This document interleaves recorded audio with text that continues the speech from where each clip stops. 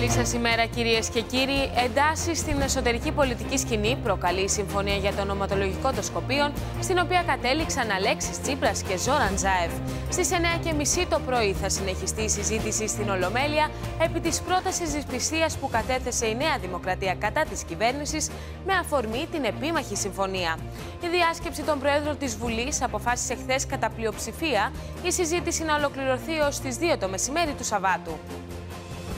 Μέχρι στιγμής, η Δημοκρατική Συμπαράταξη δια του Κώστα Σκανδαλίδη ξεκαθάρισε ότι θα ψηφίσει ναι στην πρόταση δυσπιστία.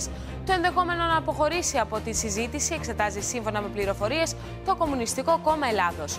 Αν δεσμευτεί ο Κυριάκος Μητσοτάκης ότι ποτέ δεν θα δεχτεί το όνομα Μακεδονία και ότι ξεκινά από μηδενική βάση, η Ένωση Κεντρών θα στηρίξει την πρόταση, δήλωσε εκπρόσωπος της Γιάννης Σαρίδης.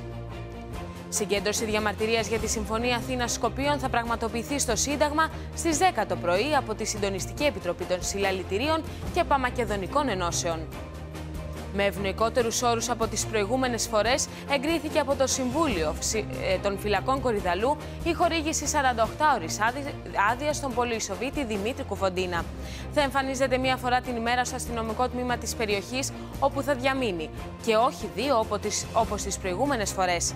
Η άδεια, η τρίτη κατά σειρά που λαμβάνει, θα τεθεί σε ισχύ μόλις λάβει εξητήριο από το Γενικό Κρατικό Νίκαιας, όπου είχε εισαχθεί μετά από απεργία πείνας.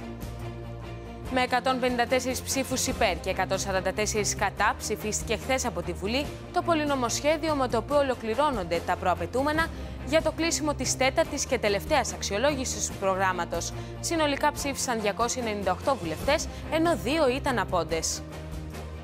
Στις φλόγες τυλίχθηκαν μέσα σε μισή ώρα από τις 2 και μισή έως τις 3 τα ξημερώματα 9 συνολικά οχήματα της ίδιας εταιρείας Courier σε τέσσερις διαφορετικές περιοχές. Σε Αθήνα, Αργυρούπολη, Μεταμόρφωση και Νέα Ιωνία. Στην αθλητική σας ενημέρωση τώρα, σε πέμπτο αγώνα στο ΑΚΑ θα κριθεί ο φετινός τίτλος της Α1 το απόγευμα της Κυριακής. Ο Ολυμπιακός επικράτησε με 92-76 του Παναθηναϊκού και ισοφάρισε τη σειρά των τελικών σε 2-2.